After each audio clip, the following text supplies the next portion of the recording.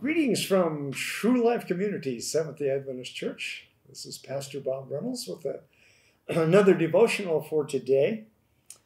I heard about a man, and, and I'm not a green thumb myself. I, you know, I grow a garden. I like tomatoes and we grow flowers and stuff like that. But I'm not really a green thumb because sometimes those things die.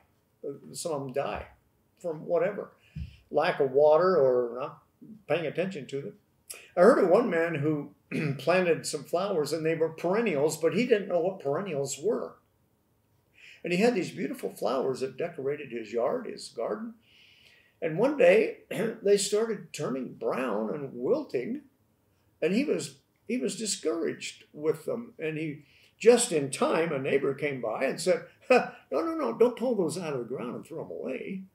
He said, "Those are perennials. There's a bulb underground, and if you leave that there, when the season gets warm again, they're going to come back. They die during the winter, but they come back when the season gets warm again.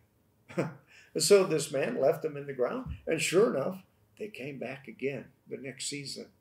You know, it kind of reminds us of Jesus.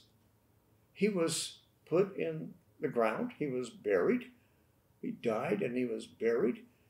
But then he came back again and he promised that he's going to come back from heaven to take all of the people who have passed away and those who are living, who have believed in him and have turned their lives over to him and have obeyed him. He's going to take them to heaven and then they will inherit the earth made new. We will live with him forever.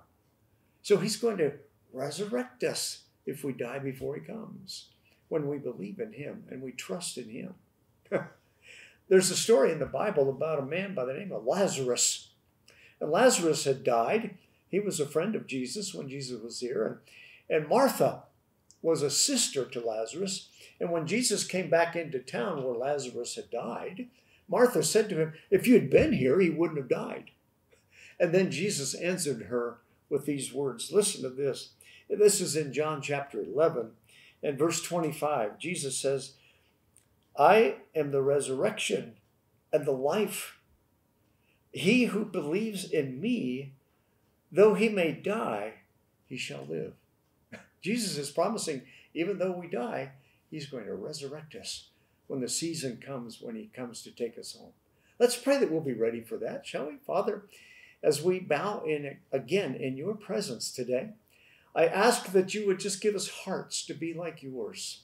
Help us to be ready and willing and able to, to tell others about your love for them, and so that they will be ready and we will be ready to be resurrected if we die before you come. I thank you for the privilege that we have of living again forever. In Jesus' name, amen.